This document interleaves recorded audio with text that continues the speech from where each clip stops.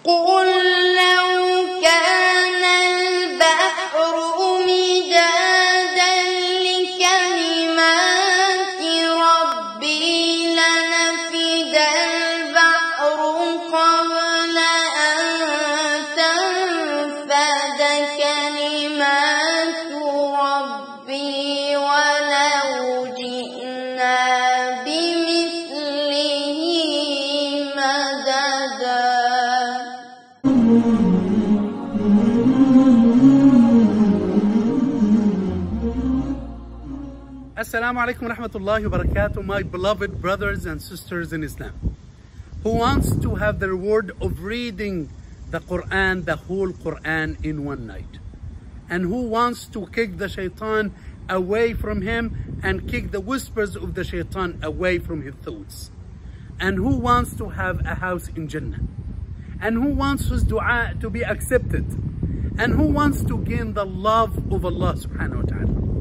The answer for all of that, dear brothers and sisters, in sticking to Surah Al-Ikhlas, قل هو الله أحد الله الصمد لم يلد ولم يولد ولم يكن له كفوا أحد. The Prophet ﷺ said that if we read it in one night three times, it is like reading the whole Quran because one third of the ayat of the Quran is talking about the Tawheed of Allah Azza wa Jal and nothing better than Surah Al-Ikhlas in deciding this.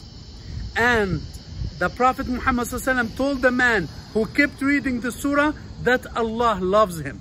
The Prophet Muhammad ﷺ saw a man starting his dua with the names and the attributes that came in Surah Al-Ikhlas. Allah Al-Ahad Al-Samad الذي لم يلد ولم يولد ولم يكن له كفوا أحد The Prophet Muhammad ﷺ said that your dua will be accepted because you use the great names of Allah. And the Prophet Muhammad sallallahu alayhi wasallam said that the one who wants to have a house in Jannah, he should read Surah Al-Ikhlas 10 times. So those are some verses, dear brothers and sisters, for Surah Al-Ikhlas, the surah that we all, alhamdulillah, memorize.